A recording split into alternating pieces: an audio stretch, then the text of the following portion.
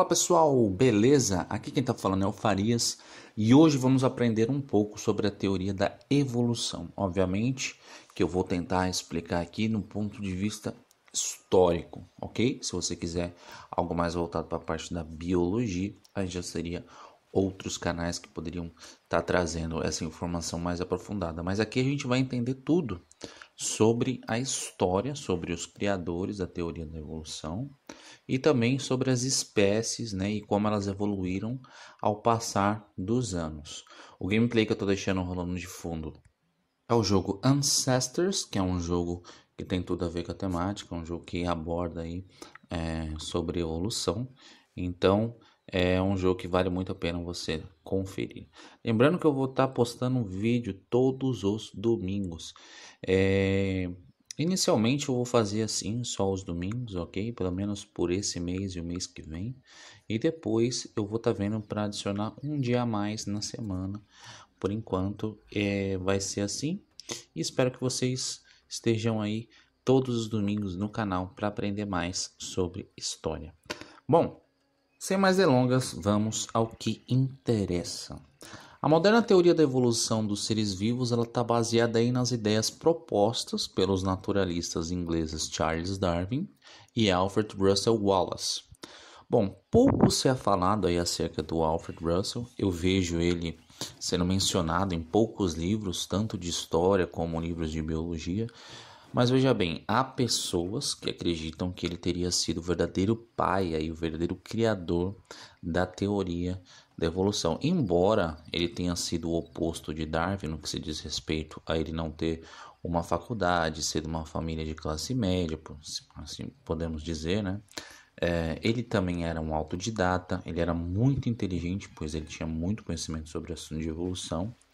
E quando ele Darwin embarcou, e quando Darwin, no caso, embarcou no Beagle para sua expedição, os dois aí mantinham contato, né? E o Wallace estava aí em sua expedição também, só que nas Ilhas Moluscas, na Indonésia. E ele enviou aí ao Darwin o seu trabalho que coincidia muito com a pesquisa de duas décadas aí de Darwin, que ficou espantado com a coincidência daqueles fatos. Mas o Wallace, ele defende também a existência de um criador, ou seja, para ele Deus existe, e ele tinha interesse por espiritismo, hipnose, esoterismo, só que para os acadêmicos do Reino Unido, ele passou aí a ser visto mais como um excêntrico, né, do que como um cientista propriamente dito.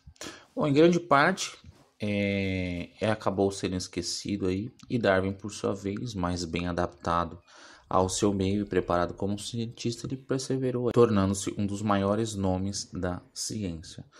Agora falando sobre Darwin, ele abandonou seus estudos em medicina e se dedicou aí às pesquisas sobre a natureza. Em 1831, ele foi convidado a participar como naturalista de uma expedição de cinco anos ao redor do mundo, organizada pela Marinha Britânica. E foi em 1836 que ele voltou para a Inglaterra e depois que ele voltou após 20 anos de pesquisas baseadas em material que ele trouxe da sua expedição, ele trouxe vários exemplares de animais, trouxe vários documentos, várias anotações, e em cima disso ele criou aí o seu livro que foi publicado em 1859, intitulado aí como A Origem das Espécies através da Seleção Natural.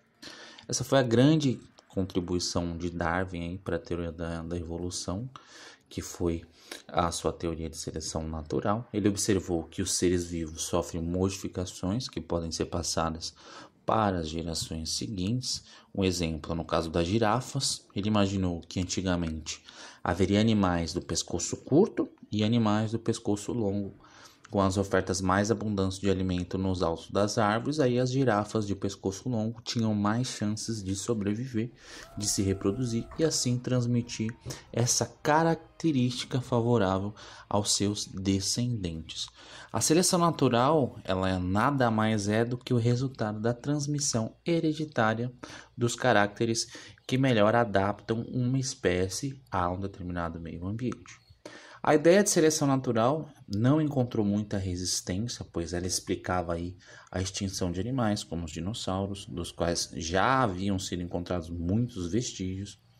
O que causou aí grande indignação tanto nos meios religiosos quanto nos científicos foi a afirmação de que o ser humano e o macaco teriam um parente em comum, que viveu aí há milhões de anos.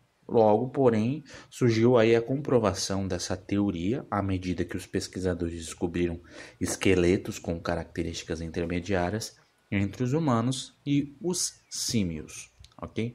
No final do século XVIII e início do século XIX, alguns naturalistas passaram a tentar explicar as causas das transformações das espécies biológicas, aí dando sustentação científica ao evolucionismo. Dentre eles se destacou o francês Jean-Baptiste Lamarck.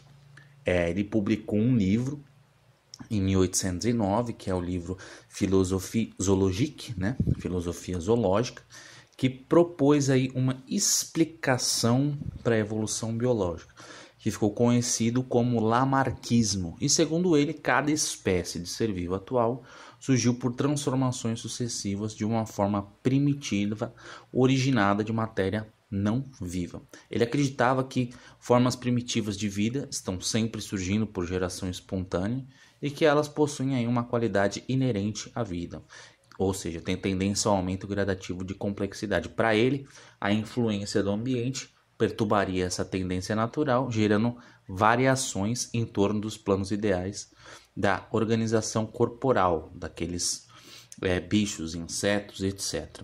Lamarck ele ficou mais conhecido aí não pelas ideias centrais da sua teoria, que eram a geração espontânea das formas ancestrais, mas pelas explicações de como o ambiente interfere no rumo natural das transformações. Segundo ele, o ambiente pode forçar a mudança de hábitos de um ser vivo, levando ao crescimento de certas estruturas e a atrofia de outras, em razão do uso e do desuso dos órgãos, e essa lei foi conhecida como a lei do uso e desuso. Um dos exemplos para ilustrar essa ideia foi a ausência de pernas das serpentes atribuída por ele à falta de uso dos membros locomotores nesses animais pela falta do não uso, né? Então acabou que as serpentes não teriam mais é, perna. Mark não teve tanto impacto assim, as suas teorias foram descontinuadas pela comunidade científica. É, tem as tem a incorporação dos novos conhecimentos genéticos, as ideias darwinianas resultou em uma teoria evolucionista mais abrangente, mais consistente, ficou conhecida como teoria moderna da evolução ou teoria sintética da evolução. E essa teoria considera três fatores evolutivos principais: mutação gênica, recombinação gênica e seleção natural. Os dois primeiros fatores são diretamente responsáveis pelas diferenças genéticas entre os indivíduos de uma população, o que se denomina aí a famosa variabilidade genética. Bom, agora vamos falar aí sobre as espécies que fizeram parte dessa evolução até chegar nos dias atuais. Então vamos começar aí. A primeira espécie foi o Pierolapithecus catalanicus, com aproximadamente aí 11,9 milhões de anos. Ela, essa espécie aí, é considerada como o elo perdido, porque acredita-se que ele pode ter sido um ancestral comum entre os grandes primatas. Os cientistas esperam que esse seja aí o último antepassado comum entre os símios e os humanos. Depois veio o Sahelanthropus chadensis, que foi datado por cerca de 6 milhões de anos atrás, e em 2001 seus fósseis foram encontrados no deserto de Chajaru, na África Central. Essa fase ela tem semelhanças com chimpanzés e humanos, e após diversas análises foi possível descobrir que ele era bípede, ou seja, ele andava com os dois pés, o que releva que a espécie estava saindo das árvores para caminhar no chão. Depois veio Ardipithecus ramidus, com cerca de 4,4 milhões de anos. Ele foi encontrado na Etiópia, próximo a Chad, na África Central, também como característica de ser bípede, esse morador da floresta tinha ainda o tamanho do cérebro de um chimpanzé e seus caninos eram pequenos. Depois tivemos os Australopithecus anamenses. Os fósseis dessa espécie são datados aí em torno de 4 milhões de anos e foram descobertos em 1994 no norte do Quênia. A capacidade craniana é desconhecida, A sua principal descoberta foi o esmalte grosso nos seus dedos, já em uma das marcas da linhagem humana. Depois veio o Kenyanthropus platyopes. Estima-se que tenha vivido aí há cerca de 3,5 milhões de anos. Em 1999, os fósseis dessa espécie foram encontrados em um lago chamado Turkana, no Quênia, e de acordo com os estudos, o cérebro media um terço do nosso e era maior do que o do chimpanzé. Com as decorrentes análises, aí foi descoberto que ele tinha a mandíbula diferente que se mostrava adaptada aí a um novo ambiente. Depois veio o Australopithecus afarensis, com 3,4 milhões de anos. Essa espécie foi encontrada na Etiópia, dos Camarões e na Tanzânia. E dessa época, talvez aí tenha sido o maior achado, né, que ficou muito é, conhecido em livros e filmes como a Lucy, né, que foi o esqueleto encontrado em 1974 na Etiópia. Inclusive tem até um, um filme com a Scarlett Johansson que se chama Lucy, se não me engano. Acho que é, um, é o nome do filme. Filme muito bom. Uh, a reconstituição desse esqueleto permitiu aí apontar as principais características do Australopithecus afarensis, que eram ele tinha os dentes mais humanos do que as criaturas anteriores, a mandíbula começou a ter a forma parabólica humana, estabeleceu plenamente a bipedalidade, o cérebro estava no caminho para se tornar o que somos hoje. Depois veio o Australopithecus africanus, com uma variação de idade entre 2 a 3 milhões de anos. Essa espécie aí foi encontrada na África do Sul, similar ao, ao afarensis. No tamanho do cérebro, a mandíbula tem uma forma é, bem humana já, as características bem marcantes. Depois veio o Paranthropus boisei, que datado aí cerca de 2 milhões de anos. Esse foi um dos primeiros hominídeos que viveram na Europa. Uh, ele, pois, ele possuía aí rosto bem peculiar, com uma testa bem pequena e também com dentes grandes e fortes. E por isso é conhecido como quebra-nozes também. Depois vieram o Homo habilis. O Homo habilis ele viveu aí há cerca de 1,6 milhões de anos e seus fósseis foram descobertos em 1964 na Tanzânia na África Oriental. Ele foi o primeiro representante real dos humanos a andar na Terra, já que ele possuía a habilidade de usar ferramentas. E graças ao seu cérebro e habilidades, ele conseguiu aí sobreviver e se adaptar a grandes mudanças climáticas também que o planeta vinha passando naquela época, dando continuidade aí ao nosso desenvolvimento. Depois veio o Homo ergaster, descoberto aí na África do Sul, a sua idade é, é datada a mais ou menos aí de 1,5 milhões de anos. Acredita-se que o ergaster pode ter sido o primeiro a usar o fogo e a utilizar instrumentos de pedras também. Depois vieram os Homo georgicus, com aproximadamente a mesma idade que o ergaster. O Homo georgicus ele foi descoberto aí em Dmanisi, na Geórgia, em 2002 e ele media cerca de um metro e meio e é considerado importante devido à sua descoberta ocorrer aí das fronteiras da Ásia, mostrando aí um processo de possível imigração. Depois vieram aí o Homo flores ciensis, encontrados aí na ilha de Flores, na Indonésia, por isso recebeu esse nome. Ele possui um milhão de anos aí e a sua marca principal era o seu tamanho reduzido, que já na fase adulta chegava a medir apenas um metro Devido a isso, eles ficaram também apelidados de hobbits. Bom, depois vieram os Homo erectus. No Quênia, eles foram encontrados em 1984. Uh, foram também encontrados fósseis com aproximadamente um milhão de anos aí que trouxeram uma das mais desenvolvidas formas de vida na evolução do homem. Essa espécie possui um cérebro duas vezes maior do que a de um chimpanzé e foi a partir dela que se deu o início aí do convívio social, pois eles acabaram se juntando em grupos para sobreviver.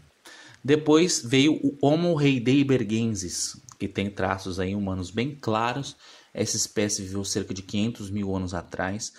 E um dos principais pontos deles é que eles tinham já uma crença religiosa. E outros dos seus feitos aí foi a capacidade de construir abrigos grandes para sua proteção. Acredita-se que foi dessa espécie que realmente começou a espalhar a vida por outros lugares, pois parte deles migrou para a Europa e outra parte ficou na África. Depois tem uma espécie nova que foi achada recentemente, né? Foi achada em, março de 2010, mas vale a pena é, salientar. É, os cientistas encontraram o uso do dedo molar na caverna de Denisova, por isso eles levaram o nome de Denisovans, né? E, essa aí foi encontrada, essa é, caverna está localizada na Sibéria. Eles extraíram seu DNA e esse DNA foi encontrado na etnia dos melanésios, aí uma região da Oceania. Seu papel na evolução do homem é muito discutido porque o trabalho ainda está sendo feito, então a gente ainda não tem muitas informações sobre o Denisovos. Bom, é, depois vieram os Homo neanderthalis. Essa espécie aí, ela foi uma das fases que, devido a diversos aspectos, não deu certo. Com cerca de 300 mil anos, ele viveu na Europa época em que houve aí uma grande mudança climática, o que basicamente dizimou os neandertalienses. Outros motivos do seu desaparecimento é que essa espécie tinha capacidades ruins de caça e suas ferramentas não funcionavam a longa distância. E depois chegamos ao ponto em que estamos, mas essa chegada aí se deu há 200 mil anos, uh, e estou falando aí dos Homo sapiens. Bom, pessoal, essa foi aí uma pequena parte sobre a teoria da evolução. Lembrando que a gente tem muito mais material acerca disso, uh, porém, isso é o básico que você precisa saber sobre relação à história da evolução, a, da teoria da evolução. Obviamente que existem é, várias discussões sobre é, teoria de evolução e criacionismo. É, lembrando que Muitos assimilam a só o criacionismo ao cristianismo, mas não é assim.